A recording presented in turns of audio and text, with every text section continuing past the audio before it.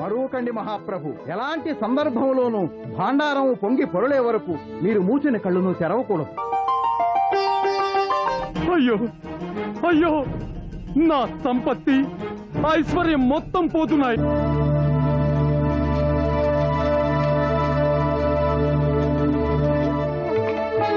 లోకమాత అయిన మహాలక్ష్మి మీరు. ఇచ్చట ఇక మీరు శిశువై వేరొక మాత ఒడిలో చేరిపోయారా?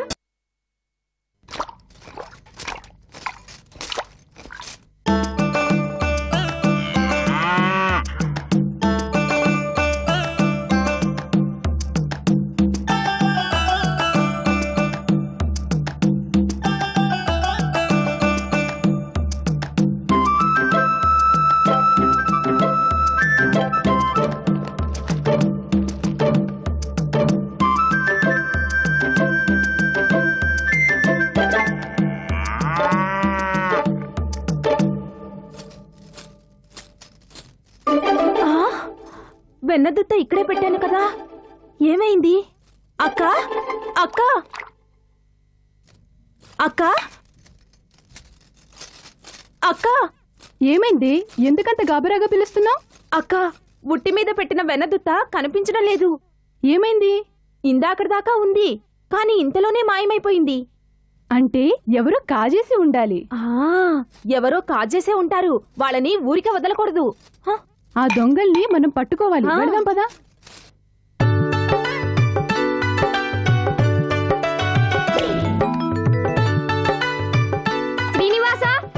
శ్రీనివాస! ఏంటి కిట్టా? ఏమిటది? వెన్న తెచ్చాను. ఎక్కడి నుంచి తెచ్చావు? నీకు వెన్నంటే చాలా ఇష్టం కదా. అందుకే అమ్మిచ్చింది. తిను. అవునవును మీ అమ్మ చాలా మంచిది. కూర్చో కూర్చో.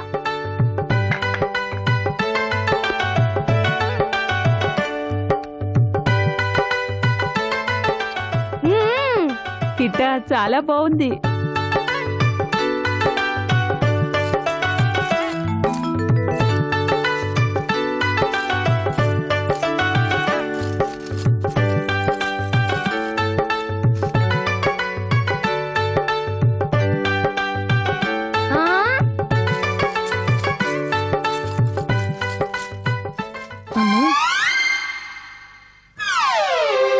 ఎక్కడికి వెళ్ళుంటాడు? అదిగో అక్కడ చూడు.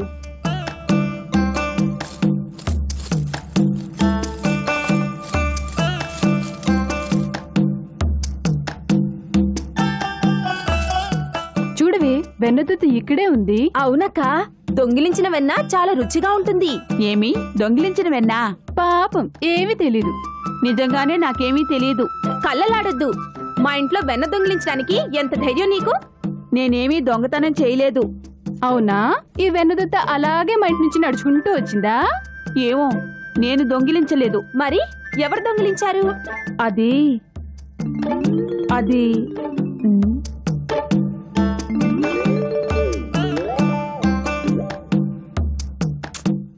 సమాధానం చెప్పు మాటలు మర్చిపోయావా? ఏయ్ ఎవరు కాజేశారు చెప్పు.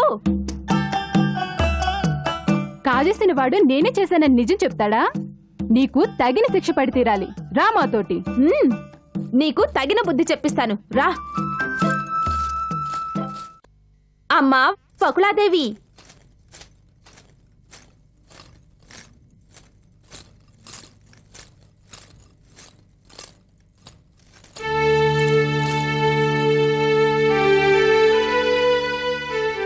వకులాదేవి నీ ముద్దుల కొడుకు ఎంత పని చేశాడో చూసావా ఏం పని చేశాడమ్మా?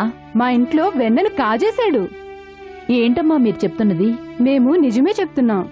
మీ తుంటరి కొడుకును జాగ్రత్తగా చూసుకోకపోతే ఇవాళ వెన్న కాజేశాడు రేపు అమ్మాయిలను వెంటపడి వేధిస్తాడు.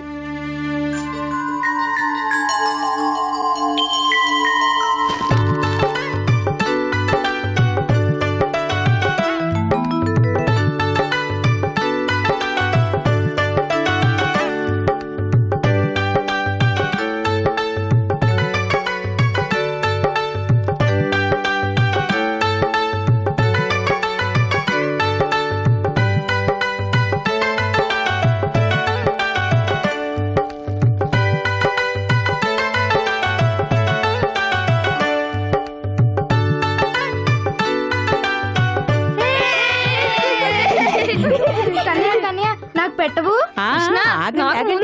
నాకు. ముందు,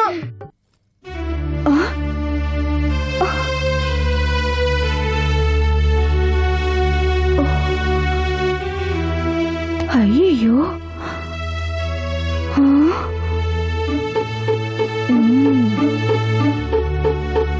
భలే రుచిగా ఎంత బాగుందో. ఒరేయ్, నా వెన దొంగతనంగా తింటారా మిమ్మల్ని. దొంగ కృష్ణ నాకు తెలుసు. ఇది నీ పనే అని. ఈ తుంటరి పిల్లలందరితోటి జట్టు కట్టి మా ఇంటికొచ్చి వెన్న కొట్టేసి వీళ్ళందరికీ పంచుతున్నావా? నడు. నీ తల్లి ఆ యశోద నీ ఈ ఘనకార్యం చూసి ఏం జవాబు చెబుతుందో విందాం నడు.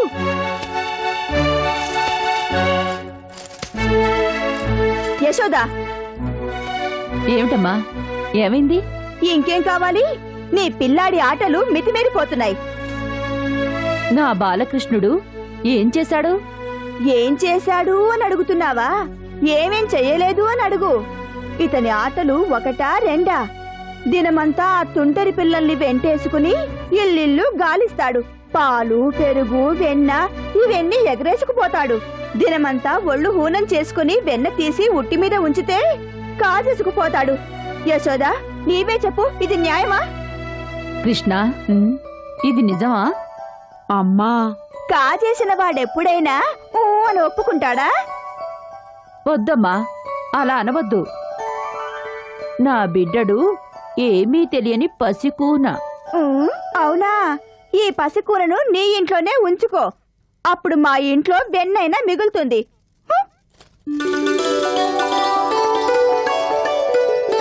కృష్ణ తప్పు కదూ?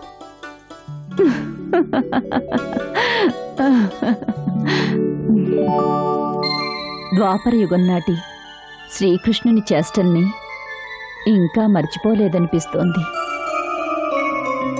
ఆ, ఇక ముందు మా వాడు ఇలాంటి తప్పులు చెయ్యకుండా నేను చూసుకుంటాను.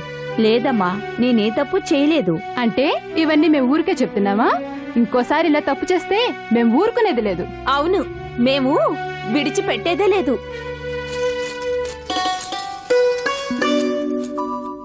శ్రీనివాస కృష్ణావతారం నాటి చేష్టల్ని ఇంకా మర్చిపోలేదా? అలా కాజేయుట తప్పు. అమ్మా శ్రీనివాసుడు ఏ తప్పు చేయలేదు. నేనే కాజేశాను. నేను దొంగనని తెలిస్తే వాళ్ళు నన్ను కొడతారు. అందుకే కాజేసింది నేనైనా. శ్రీనివాసుడు తానే కాజేశానని ఒప్పుకుని నన్ను రక్షించాడు. శ్రీనివాస నువ్వెంత ఉత్తముడివి? నిన్ను తప్పుగా అనుకున్నాను. నా ముద్దు కన్నయ్య.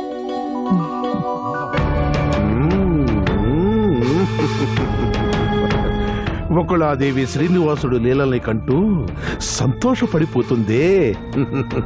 ఇక నేను శ్రీనివాసుడికిచ్చే మరణ లీలల్ని కంటూ ఆనందపడిపోతాను. ఏమే ఆజ్ఞ కలి మహాప్రభో? శ్రీనివాసుడు అతని స్నేహితులు ఆ కొండదారిలోనే వస్తారు. వాళ్ళు వచ్చిన మీదట ఆ మార్గాన్ని బండలతో మూసివేయండి. అన్నపానాదులు లేకుండా వాళ్ళు అందులోనే ముగిసిపోవాలి. అటలనే కానిస్తాం కలి మహాప్రభు. శ్రీనివాస ఈ దినంతో నీ కథ ముగిసిపోతుంది. శ్రీనివాసుడు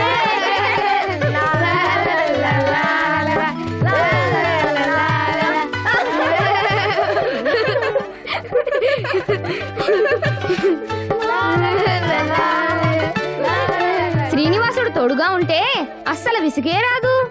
అంతేకాదు మురళిని సక్కంగా ఊదుతాడు. బాణాన్ని గురుచూసి వదులుతాడు శ్రీనివాసుడు తోడుగా ఉంటే పొద్దుపోయేది గుర్తుకు రాదు. అవునవును. అబ్బబ్బబ్బా. ఏమైందిరా? ఎందుకో మరి? నా నోరు జివజివలాడుతోంది. అది తగ్గాలంటే ఏం చేయాలి? ఎవరింట్లో నుంచేనా? వెన్నను కాజేద్దామా? తప్పు తప్పు కిట్ట దొంగతనం చేయకూడదు. అడిగితే అమ్మ పెట్టదా ఏమిటి?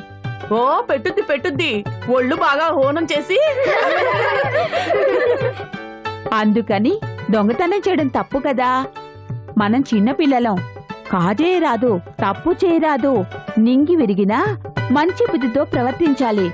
అందరి చేత మంచివారు అనిపించుకోవాలి. అవునవును తప్పు తప్పు. సీనయ్య వీడికి తినిపించేందుకు ఏదైనా పండ్లు నెతుకుదాం గానీ రండి. అలాగే.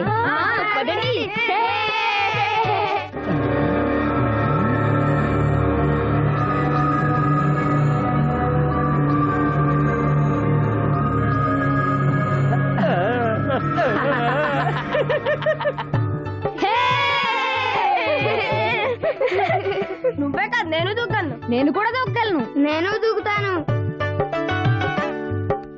సీనయ్య సీనయ్య ఆ కర్రికొండ దాటితే ఆడ మనకి చాలా రకాల పండ్లు దొరుకుతాయి. అలాగా? అయితే పదండి పోదాం.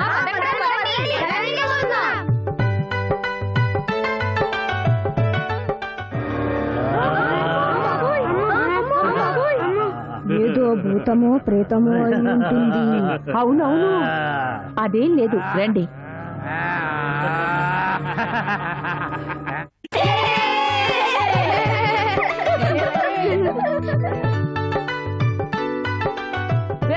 అటు కాదురా ఇటు. సర్లేరా రా.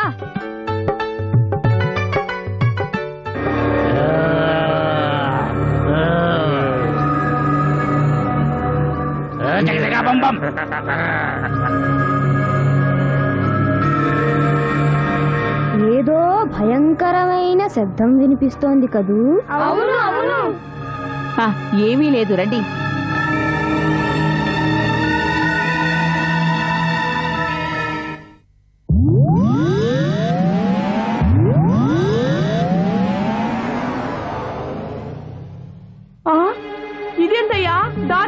మూసుకుపోయింది ఏదో అపాయం. ఇప్పుడు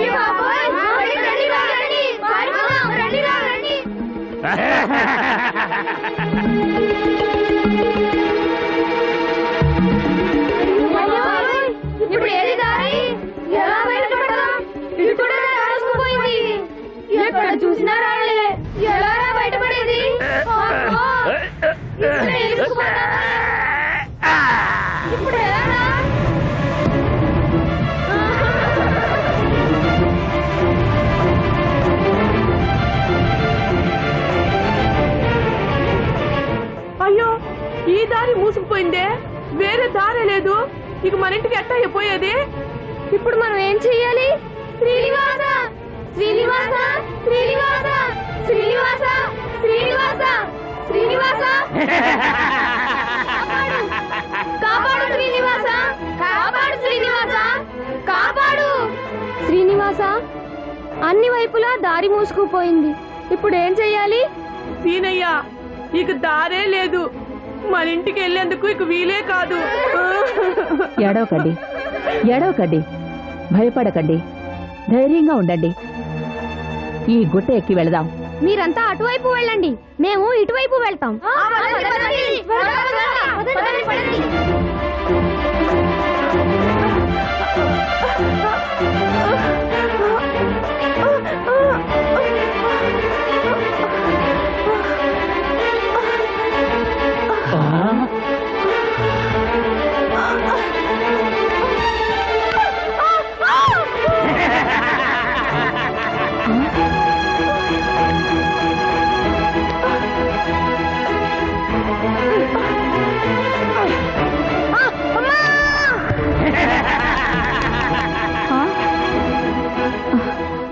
లేతిమయ్యా లే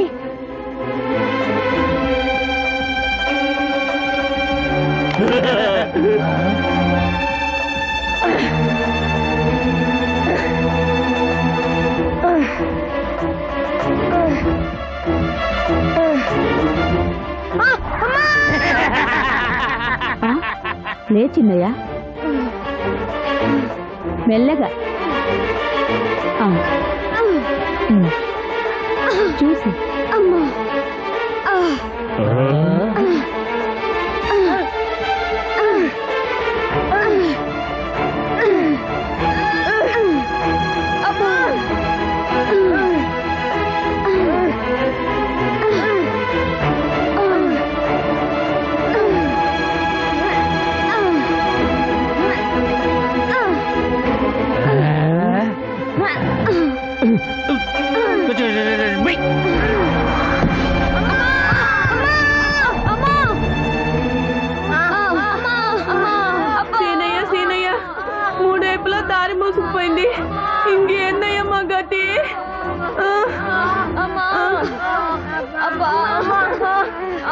భయపడకండి. భయపడకండి. ధైర్యంగా ఉండండి.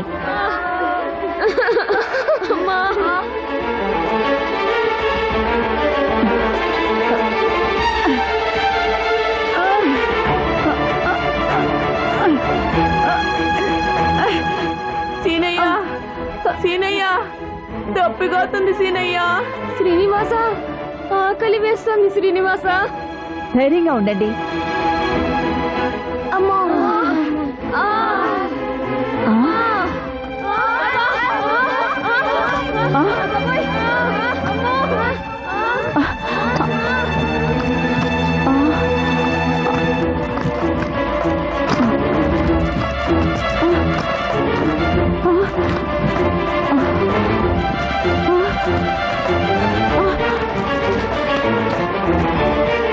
మీరెవరూ ముందుకు రాకండి. వెనకే ఉండండి.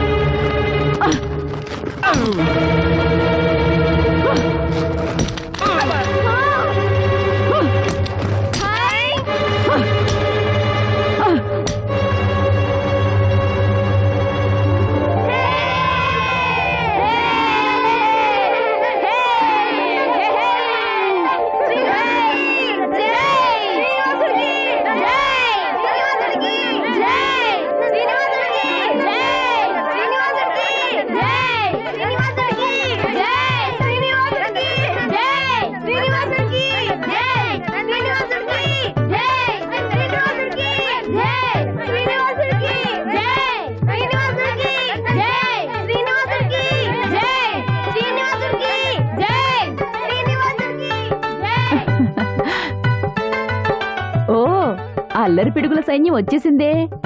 చాలా ఉల్లాసంగా కనిపిస్తున్నారు.